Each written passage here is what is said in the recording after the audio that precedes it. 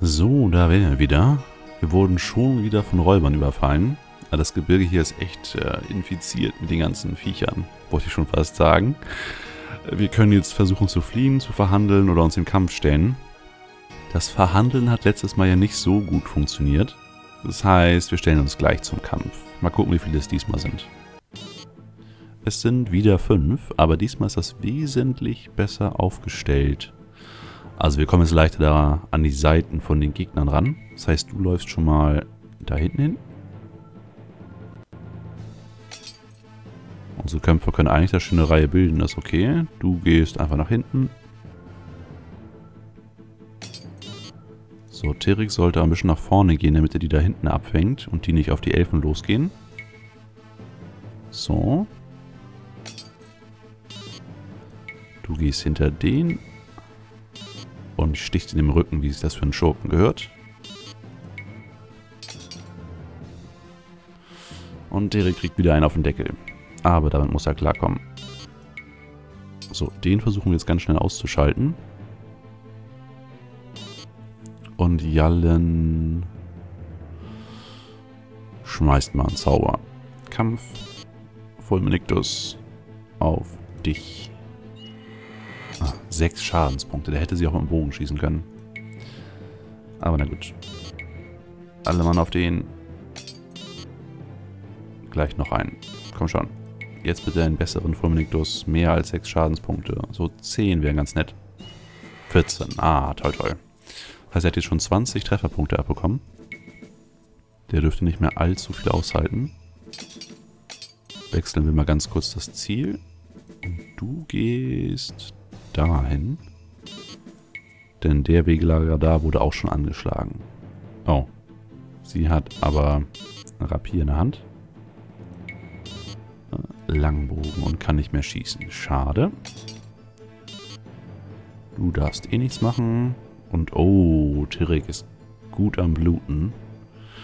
Du verteidige dich mal. Du machst einen Schritt zurück.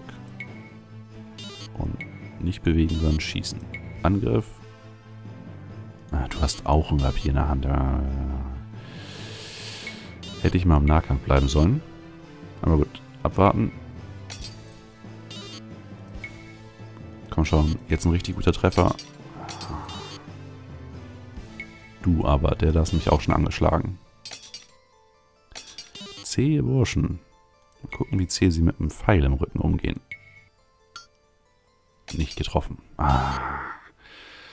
Dirk sollte mal einen Heiltrank benutzen. Hm. Hat er einen Heiltrank in der Hand? Nein, er hat den Schild in der Hand und den kann er nicht benutzen und das zählt als Versuch und hat dadurch alle seine Bewegungspunkte verloren. Ähm. Na gut, du machst mal Kampf Fulminictus auf den da und verbrennst damit deine letzte Astralenergie. Aber der Kampf sieht ein wenig kritisch aus, also sollten wir das schon machen. So, wir könnten jetzt Gegenstand wechseln und einen Heiltrank trinken. Aber dann hat er eine Runde lang kein Schild in der Hand.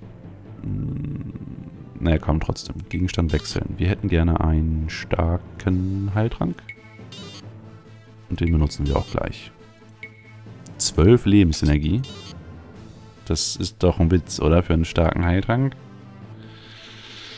Ah, na gut. Komm schon. Und der erste flieht. Sehr gut. Du bleibst da stehen und schießt auf den anderen. Der müsste jetzt eigentlich auch gleich fliegen. Der hat nämlich schon sehr viel abbekommen. Oh, Tirik hat von den 12 wieder gewonnenen Lebenspunkten gleich wieder 6 verloren. Du kannst nichts machen. Du haust den da am Rücken. Komm schon. Komm schon. Ein Trefferpunkt. Du machst nichts. Terek sollte jetzt erstmal wieder den Gegenstand wechseln auf Schild. Und greift ihn jetzt vorsichtig an. So, komm schon, letzter Pfeil. Ja, er müsste auf jeden Fall fliehen nach so einem Treffer. Äh, das heißt, theoretisch könnte ich jetzt schon an ihm vorbeilaufen. Aber es ist nicht wirklich sicher, dass er umkippt oder wegläuft. Ja, komm, hauen wir noch einmal drauf. Aggressiv und daneben. Dann halt du auch nochmal. Er wird von vorne angegriffen von Gerogon, pariert das Ganze und kriegt dann noch einen Stich in den Rücken, den er ihn auch nicht trifft. Oder den er auch pariert. Das ist echt ein super Held. Na gut, du läufst jetzt dahin. Abwarten.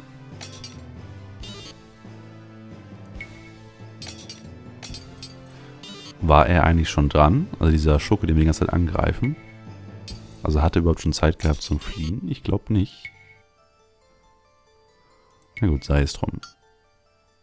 Terix Angreifer kriegen auch zum ersten Mal Schaden, das ist gut. Na, ich habe sichern geklickt. Ah, das wäre wahrscheinlich der Pfeil gewesen, der ihm den Rest gegeben hätte. Aber der flieht auch so. Na gut. Du sicherst. Du sicherst. Und du kümmerst dich jetzt um den. Aggressiv. Du schießt auf den. Und Giron geht gleich auch auf den da los. Damit nicht alle auf Derek hauen. Hm. Und du bewegst dich mal weg. Ja, es ist ein taktischer Rückzug, keine Flucht. Du wechselst die Waffe auf Rapier und stellst dich da in den Weg. Sie hat ja volle Lebenspunkte, also dürfte das schon passen soweit. Außerdem hat sie noch recht viel Astralenergie, um sich selbst zu heilen oder um den Gegner halt einen Fulminictus zu geben. Tirik sichert und du zauberst Kampf, Fulmen und einen guten bitte. Elf. Oh, elf ist okay. So, zwei gehen auf Myrrem, der andere wird wahrscheinlich auf Girugon gehen. Nee, der flieht. Oh, umso besser. Dann gehst du mal dahin. Haust den Angeschlagenen an. Oder war der andere der Angeschlagene? Ah, egal. Einfach alle anhauen. Ähm, ähm, ähm, du stehst schlecht. Du musst dahin. Ja, doch, sieht sehr gut aus. Und jetzt haben wir schon von beiden Seiten des Banditenlagers die Wegelagerer äh, dezimiert. Das heißt, wenn wir nächstes Mal hier durch den Pass durchkommen, müssten es eigentlich weniger sein. Das ist schon mal gut. Du sicherst. Und ich nehme mal an, dass wir nicht nochmal auf welche treffen werden. Also auf unserer Weiterreise nach... Wo sind wir unterwegs? Nach Witzsand. Also der Weg dahin dürfte jetzt eigentlich frei sein, denn zweimal Banditen treffen ist schon äh, recht viel gewesen. Ein drittes Mal wäre echt komisch. So, komm schon. Angriff. Ja, Terek brodelt da, weil er nicht mitkämpfen darf. Obwohl er sich jetzt ja eigentlich einmischen könnte. Jetzt hauen ja nicht mehr alle auf ihn ein. Ja, komm. Terek kann gleich nach vorne.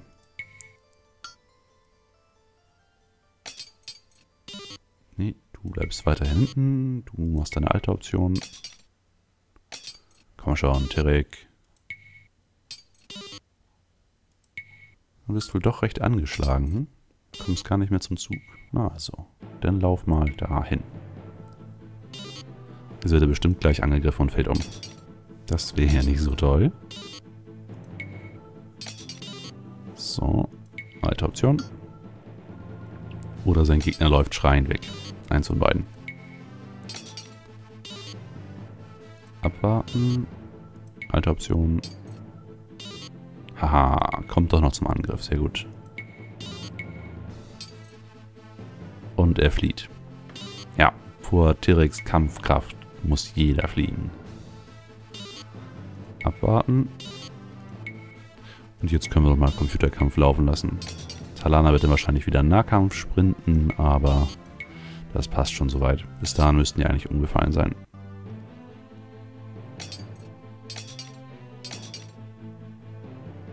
Und... Haut er Talana oder haut er Talana nicht? Ja, er greift natürlich Talana an. Oh, und sie kriegt auch gleich Schaden. Das ist nicht gut. Also müssen sie jetzt wieder wegschicken. Angriff.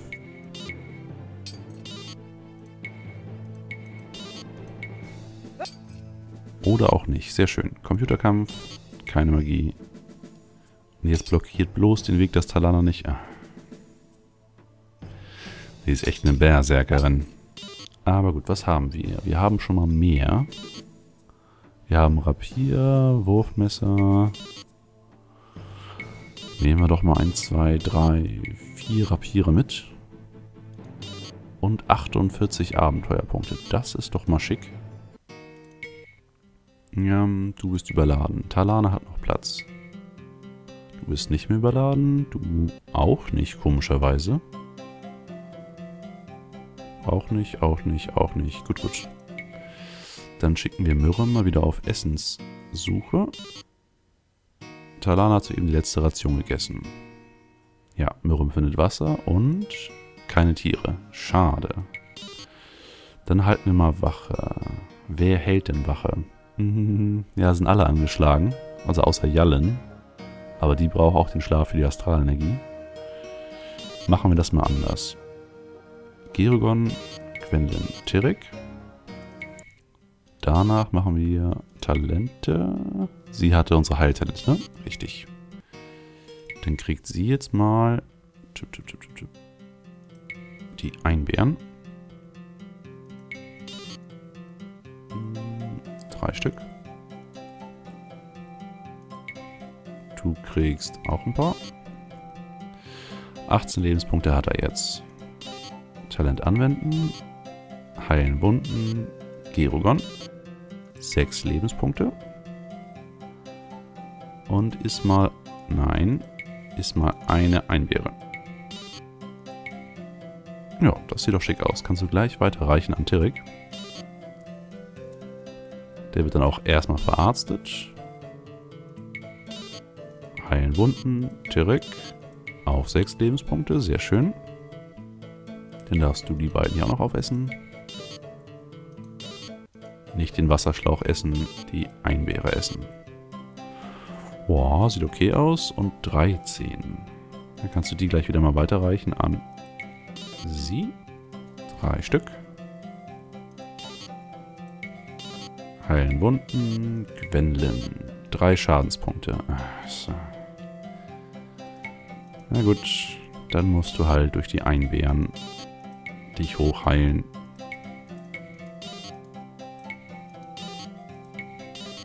Ein Lebenspunkt. Na gut, aber wenigstens hat es ein bisschen was gebracht. Heißt, wir haben jetzt nach Nahrung gesucht, wir haben die Wachen aufgestellt, wir könnten noch nach Kräutern suchen. Aber es ist schon 21 Uhr. Na komm, drei Stunden können wir mal suchen. Keine Kräuter.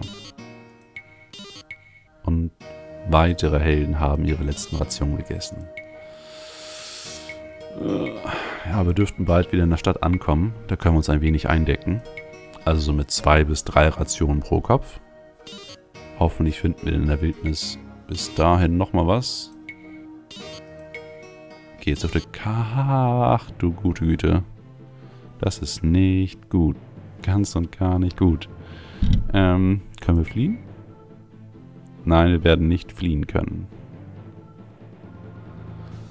Ich sehe das Ende unserer Gruppe voraus. Abwarten.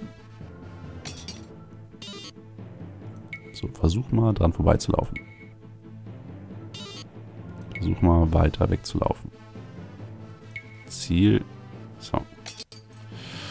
Das müssen wir jetzt mit allen Charakteren hinbekommen, ohne dass sie umzingelt werden. Was vor allem bei Tirik schwierig werden dürfte, da er gleich schon umzingelt ist. So, du lauf da lang. Ja, das war's für Tirik. Flucht. Flucht. Tirik muss dann halt die Heldenohnmacht sterben. Also, ich hoffe mal nicht, dass er stirbt, sondern einfach nur ohnmächtig wird. So, du, Flucht. Ja, du willst fliehen. Gerogon äh, flieht auch. Also ich habe kurz überlegt, ob ich mich irgendjemand in den Weg schmeiße. Aber die Frauen hier werden auch alle nächste Runde rauskommen können, das passt schon. Also verlässt er heldenhaft als Zweiter das Schlachtfeld. So, du Flucht. Jo. Hoffentlich klappt das, denn es ist schon eine ganze Weile her, dass wir gespeichert haben. Denn die Banditen haben ja letztes Mal das Speichern verhindert. Und danach habe ich nicht dran gedacht abzuspeichern. So, Tirik. Du versuchst dir jetzt einen blutigen Pfad nach vorne durchzuschlagen.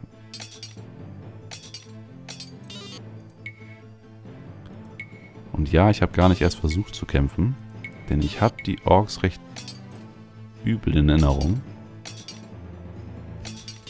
Aber da kann ich mich auch getäuscht haben. Das Ganze war jetzt ziemlich albern. Aber gucken wir mal. Äh, alte Optionen. Ich könnte jetzt Computerkampf machen lassen. Aber dann würde Tirik wahrscheinlich wild um sich schlagen und nicht immer den gleichen angreifen. Und die Orks scheinen wirklich sehr einfach zu sein. Weil der eine Ork ist jetzt schon geflohen. Komm schon, Tirik. Du musst nur drankommen, bevor der sich den Weg stellt. Terek. Terek. Fünf. Ja, gut. Also diese Runde kann er noch nicht fliehen, aber jetzt kann er fliehen. Uff. Das war übel. Aber gut, jetzt weiß ich, dass die Orks nicht so stark sind wie Wegelagerer und wir ruhig so eine ganze Gruppe auf einmal angreifen können. Trotzdem, Schwitz, Schwitz. Erstmal abspeichern und einen Cut. Und in der nächsten Folge gucken wir uns hier in der Stadt erstmal um. So, LP 13 und bis gleich.